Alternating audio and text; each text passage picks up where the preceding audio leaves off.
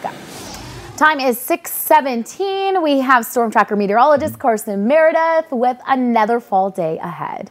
A little bit warm out there Oh, today, yeah. though. Upper 70s, near 80. Definitely Okay, not. so don't listen to me. Listen to Carson. Yeah, well, definitely not feeling like the crisp fall air that we had this past weekend, but it is still fall in North Alabama. Definitely feels like it this morning, though. On the WAAY 31 Storm Tracker Early Warning Radar Network right now, it's a quiet picture. Make sure the kiddos have the light jacket heading to school this morning, but they won't need it this afternoon. 51 degrees here as they head off to school today. 78, that's our forecast high. This might be one of those days where the kiddos forget their jackets at school because they won't need it after school today. Again, 78 your forecast high, near 80 for some spots, especially out in northwest Alabama later on today. So it's all quiet for your Wednesday, but let's talk about Thursday. I got a couple of things going on tomorrow. Gulf moisture getting pumped into North Alabama and another cold front that's going to move through with those two particular features working together. We're going to have two main rounds of showers and thunderstorms for your Thursday. That first round, that arrives with that Gulf moisture close to sunrise tomorrow morning. We're talking anywhere between, let's say, 4 or 5 a.m. through around 9 o'clock tomorrow morning. So right in the middle of the morning commute, tomorrow's 24 hours from now. We'll get a little bit of a break by 11 a.m. tomorrow, and then a second round arrives along the cold front tomorrow afternoon and evening. We're starting around 2 or 3 p.m., lasting until about 7 or 8 o'clock tomorrow night. Not going to be a washout, but I definitely want you to keep that umbrella on hand throughout the day on your Thursday. Future radar is quiet today, just some of that filtered sunshine back in the upper 70s this afternoon. Most of your overnight is quiet. If you have any evening plans tonight, you're going to be fine.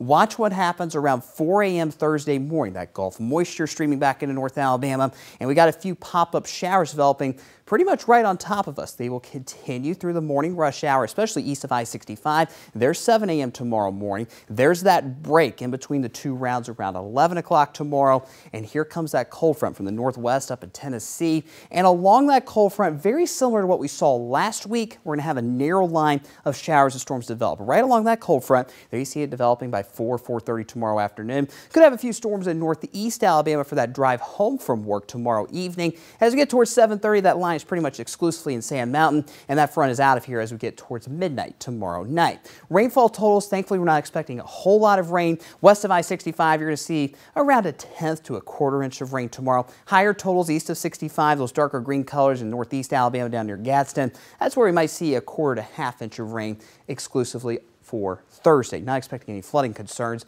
but there won't be much of a cool down with this particular cold front. Nothing like the cool down we saw last week, that's for sure. Especially those overnight lows. Going to be near 60 degrees tomorrow morning, dipping to near 50 by Saturday morning. But notice we climb back up into the mid 50s and close to 60 by Monday morning. And that's just the overnight lows. Look at the seven day forecast with those high temperatures.